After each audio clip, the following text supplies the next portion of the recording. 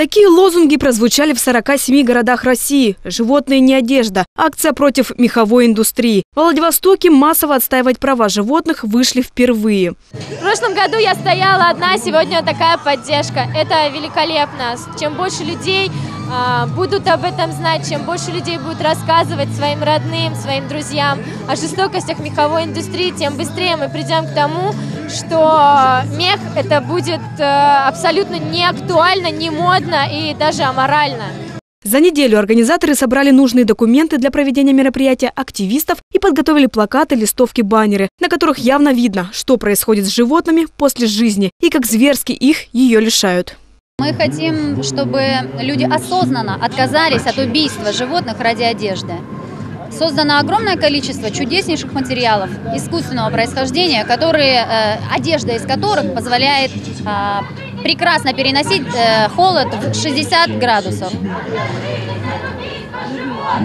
Пришли на акцию ребята неравнодушные, присоединялись к ним такие же. Все участники давно отказались от меха и кожи, а этой роскоши нашли безобидную и не менее теплую альтернативу. А в шубах нет необходимости, чаще всего они их носят для показания своего какого-то статуса, для моды. Миллион лет назад как бы определенная группа обезьян эволюционировала по различным факторам. С них спала шкура, и им нужна была мех, скажем так, животным. Они охотились, но сейчас мы, по-моему, вышли из этого периода, и это нам не обязательно. Полярники уже давно отказались от меха и носят технологичные материалы, такие как тинсулейт и холофайбер. Участники акции привели с собой своих питомцев. Особое внимание получил лис Вук. Ему было две недели, когда его спасли и взяли к себе домой молодые люди.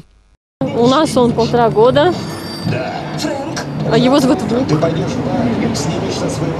А попал к нам, когда ему было две недели. И, в общем, живет, радуется жизни.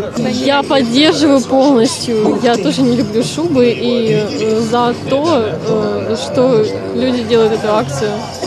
На животных ставят эксперименты, тестируют косметику, сдирают шкуру, причем нередко на живую. Интернет подобным видео завален. Но на то, какими методами изготавливаются меховые и кожаные изделия, многие закрывают глаза. Красота, они считают, требует жертв. Носите, да? Ну а почему? Потому что теплый или что красиво. Красиво, тепло. А животных не жалко? Жалко. Да, красиво. Почему бы и нет? А животных не жалко? Жалко. Это смотрится очень изящно и красиво на девушках.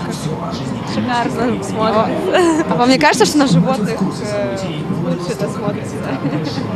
Нет, на, на людях лучше. Среди прохожих нашлись и те, кто считает иначе. Правда, их меньшинство. Ну, короче, жалко животных, мы их любим. Да и мне кажется, взять искусственный тоже мех, кожу, на вид нет сильно отличается. Во-первых, это устарело, а во-вторых, это животные. Животные – это не одежда. Для одной шубы убивают 100-250 белок, 55 норок и 18 бобров. Но гораздо приятнее и теплее посмотреть в глаза живого животного. Алина Черненко, Игорь Болтов. Новости на восьмом.